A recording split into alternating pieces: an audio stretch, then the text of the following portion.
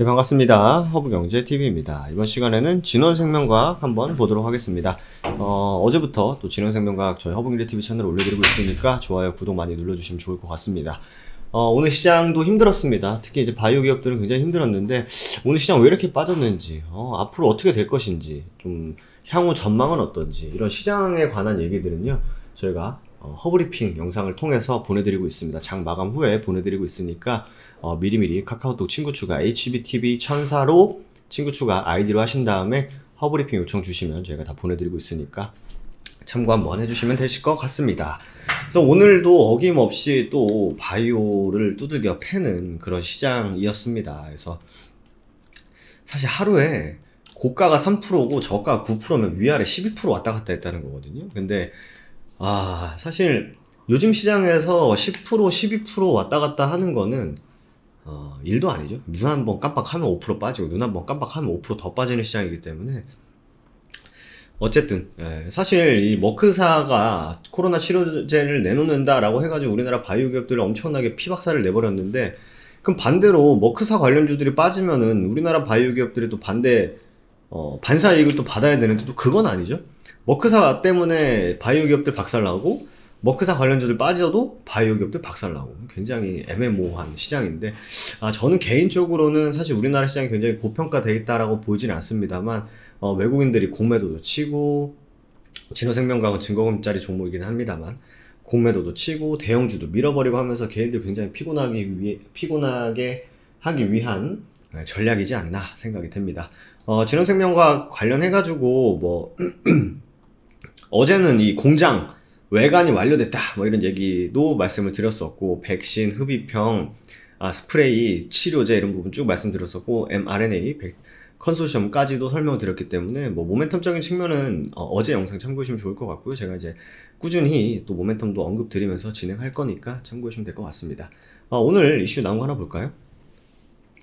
국내 제바 제약바이오 기업들이 세포 유전자 치료제 위탁 생산 시장 전망성을 확인하고 신규 진출 및 시설 확대에 나섰다. CMO가 위탁 생산이지 않습니까? 근데 이 위탁 생산이 마진이 굉장히 잘 남습니다. 그렇기 때문에 사실 바이오 기업이 뭐, 어, 약간 좀 색안경이 있죠. 돈은 못 번다. 하지만 꿈을 먹고 잘한다. 근데 사실 이 각 그 바이오 기업들마다 이 캐시카우, 돈을 벌어오는 역할들을 하는 사업들을 꼭 하거든요. 왜냐면 아무리 신약 개발하고 기술 수출하기 위해서 준비한다고 한들 회사가 당장 적어도 먹고 살 건 있어야 되지 않습니까? 그래서 어, 캐시카우 역할을 이제 꾸준히 음, 잡아가고 있는데 어, 진원생명과학 같은 경우에는 음, 여기 나오죠?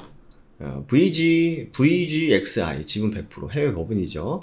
어, 그래서 어, 그 플라스미드 음, DNA CGMP급 공장을 보유하고 있고 이거를 계속 늘려 나간다고 하죠. 신공장이 완료되면 500리터 규모가 된다. 7,500리터까지 증설할 계획이고 만약에 다 완공이 되면은 세계 최대의 규모다. 공장 완공을 앞두고 있다. 500 어, 원료 생산도 가능하고 또 뭐도 가능하죠? 원액도 가능하죠. 예. DS도 가능하다라는 부분도 어제 우리가 확인을 했습니다. 현재 외관 공사를 끝내고 내부에 설비를 설치 중이다. 1분기 적격성 심사를 거쳐서 2분기부터는 본격적으로 상업 생산에 나설 것이다. 그러면은 이게 이제 돈을 벌어다 주겠죠. 음.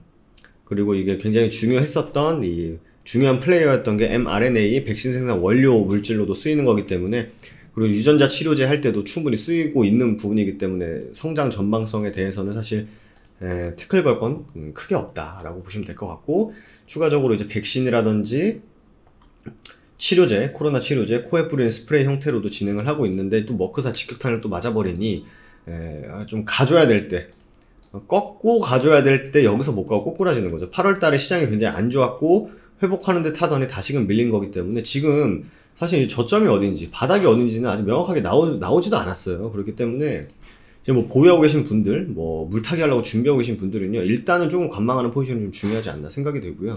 어제 이제 주봉을 체크해서 드려, 보내드렸, 보여드렸었죠.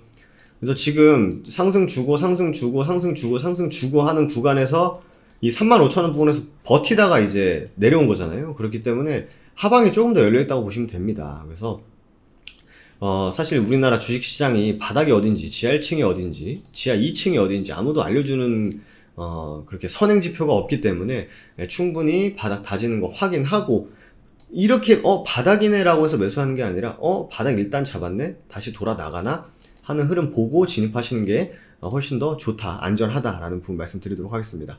아 내가 조금 완벽하게 저점을 잡으려고 하는 것보다는 아 그래도 내가 그래도 한 5% 10%덜 어, 손해 보는 건 아니지만 5% 10% 정도 조금 감수하더라도 예, 확실하게 보고 들어가는 게 훨씬 더 좋다라는 말씀 드리도록 하겠습니다. 3만 원에 어, 좀 딱딱 떨어지는 라운드 피겨 구간에서 지지를 못 해준 게 좀 아쉽습니다만 아마 3만 원 깨질 때 거래가 많이 터졌을 겁니다.